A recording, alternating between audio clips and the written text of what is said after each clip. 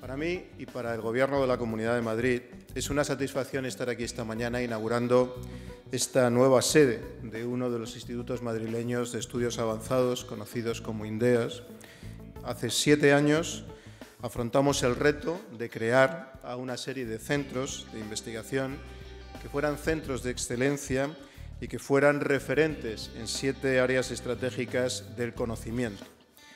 Hoy podemos decir que los siete INDEAS de la Comunidad de Madrid se han convertido en siete historias de éxito.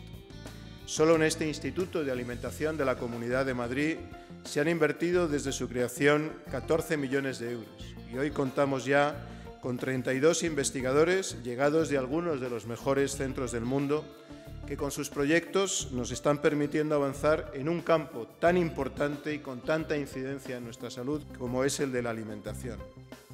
Esta magnífica labor científica se ha plasmado en nuevos avances en la prevención y el tratamiento de enfermedades crónicas, de enfermedades cardiovasculares o en la lucha contra el cáncer, todas ellas a través de la mejora en la alimentación.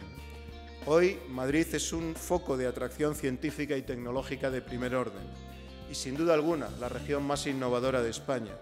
Hoy Madrid invierte el 2% de su Producto Interior Bruto en investigación y desarrollo, lo que nos sitúa por encima de la media nacional.